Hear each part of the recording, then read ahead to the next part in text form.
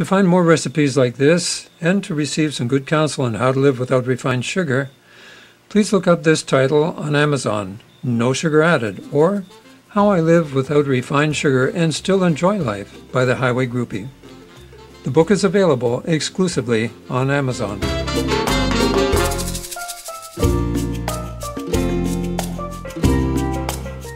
Hi, I'm the Highway Groupie, and today we're going to make a very simple apple sauce. Very simple apple sauce. It's connected to my apple butter, and you'll see why a little later on, because we're going to use some of this in the apple butter. And if you want that recipe, just click on the card up above. The card up above there, take you to the apple butter recipe. Now, when I was a teenager, my grandmother, with whom I lived, she would make apple sauce fresh several times a week for me. I would come home from school and she would have some fresh apple sauce for me. I would eat it with uh, tea biscuits. I just loved it. When I left home, I started buying uh, apple sauce in the jar at the store. But when I stopped eating refined sugar, it became really hard to find an apple sauce that did not have sugar added. Why would they put sugar in applesauce? I have no idea. Probably because they were using very sour apples. but nevertheless, here is a very simple recipe that you can make at home, your own applesauce. You know exactly what goes into it and no refined sugar. So what we're starting off with is some Gala apples. Gala apples add sweetness. You can also use ambrosia if you like a sweeter applesauce. Um, not sure what this one is. They said it was a gala, but it's a deformed gala.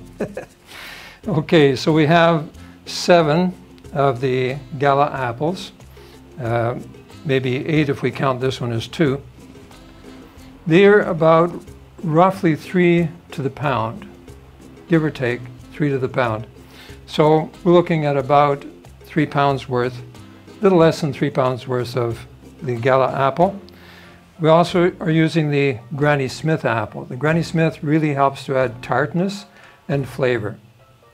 So I like a lot of these. We have eight of these large uh, Granny Smith apples. They're about half a pound each. So we're looking at a little bit over half, uh, four pounds of Granny Smith apples if you go by weight. But again, all of these things are to your taste. If you prefer to have ambrosia, go ahead. If you like uh, different ones like McIntosh, and some of the others, go ahead and use them. One that I don't particularly like at all is the Cortland. But anyway, that's my taste. It may not be yours. So you use whatever you like. This is a combination that I particularly enjoy. Now, to go with this, we need about two thirds of a cup of water. We need a little bit of salt. This is Herbamare, which is sea salt with uh, kelp and so on for the iodine. Lots of cinnamon, and nutmeg. These are the main ingredients that I always use in my apple sauce. Now, some people like a little bit more of a bite. They'll put a bit of ginger in it. You can add a little bit of cloves or allspice to it. I don't particularly, and I won't be adding them to this recipe today. So these are the ingredients that I'm using. We're also going to use a peeler, which is it peels and cores at the same time. You can do this by hand, and I'll, up in the corner here, this corner here, you'll see uh, how to quarter and then core the apple, peel it. it. It can be done by hand. I just find that this is faster. Maybe it wastes a little more apple, but it is faster. We will need a knife a little bit bigger than a paring knife. You'll see why in a minute. And this is just a bowl to catch whatever juice this produces. So let's start with going to the stove. And you can see that we have, over here we have the Dutch oven with the apple butter already cooking and another pot in the back with more apple butter. So this is for the, this is for the apple sauce. We're going to start with the water.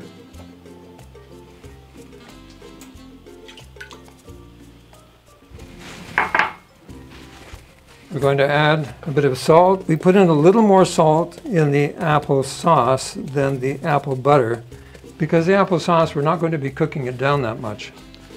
So there's our salt. I like lots of cinnamon in mine. So lots of cinnamon. Hopefully I have enough left. Getting down to the bottom of the container here. I like my nutmeg fresh, so I grab a nut of nutmeg and put it in.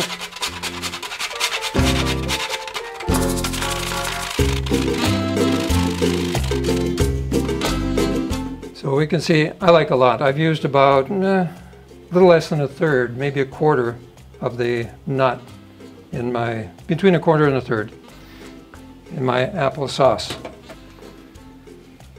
So what we want of our apple is the mesocarp. The mesocarp is the fleshy part inside. The exocarp, that's the peel. We don't want that. We don't want the endocarp that surrounds the seeds of the, of the apple. We don't want the flower, we don't want the stem. So these things, the core with the seeds and the endocarp, flower and the stem will be removed by this little thing here. And the peel will be removed by this little blade here. So we stick it on the tines just a little bit, don't push it all the way in yet. Then we line it up so that the flower is dead center with the little ring here. And once it's dead center, then you push it the rest of the way back in as much as you can. Okay, and then it peels and cores at the same time. Now we're going to keep the peel because the peel we're going to use for our apple butter. Remember I said that the this recipe is related to the apple butter recipe, so that's how it is. Now if you have a little wee bit of peel here and that bothers you, take it off. It doesn't bother me, so I'm going to leave it. If there was a lot of peel there, I would remove it. So you notice that in the middle, by lining it up properly, we have none of the endocarp here, no seeds. We have just the mesocarp. Again, put it on the tines.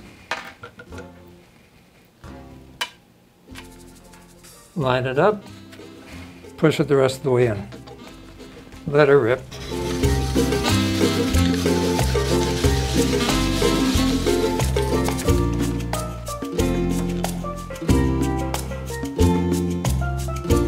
Now, a little bit of peel here.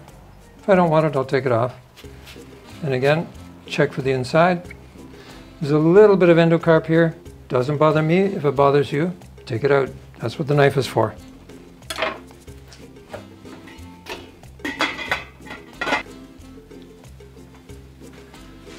So we have a few peels here. I'm just going to take advantage of the moment and put them over in the pot for the apple butter. Get them cooking over there.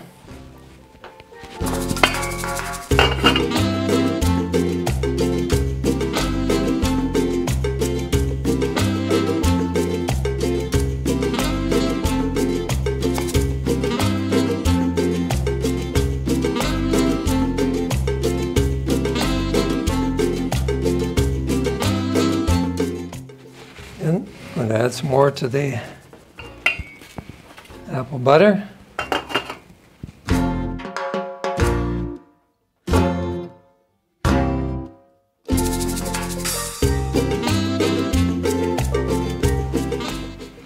So here goes the last of the peels into the apple butter pot. Let that cook down. Forgot a little bit and again, nice and clean coring.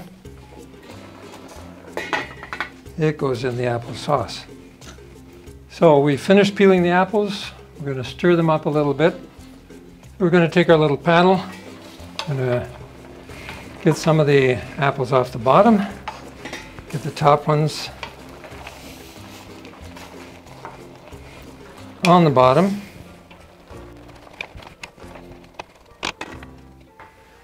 So we've shut off the, the heat to the applesauce And we've got it roughly to this texture. This is about the way I like it. We're going to let this stand for about 10 minutes and then I'm going to mash it with a masher. Now if you like yours smoother, I like mine a little bit lumpy. So if you like yours smoother, then you have to cook this just a little bit longer and then let it stand. But this should be good enough for me.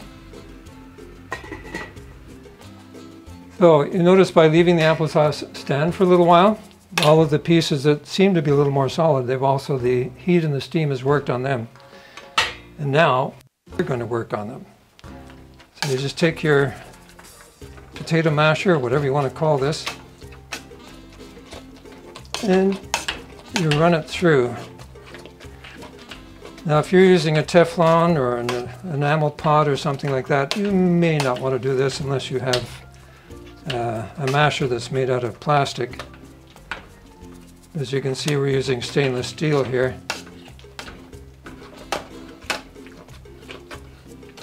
And we just keep working it against the bottom.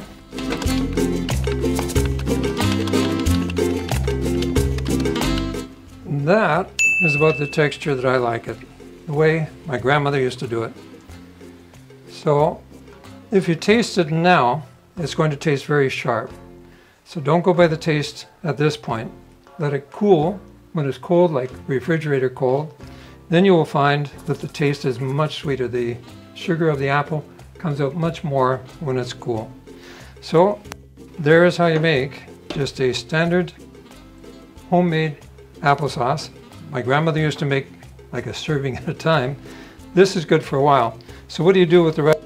I'm going to put some in the fridge and the rest of it I'm going to freeze. And the freezing has absolutely no bad effect on it. When you're ready for more applesauce, you pull it out of the freezer, let it defrost, and it'll be like it was never frozen at all.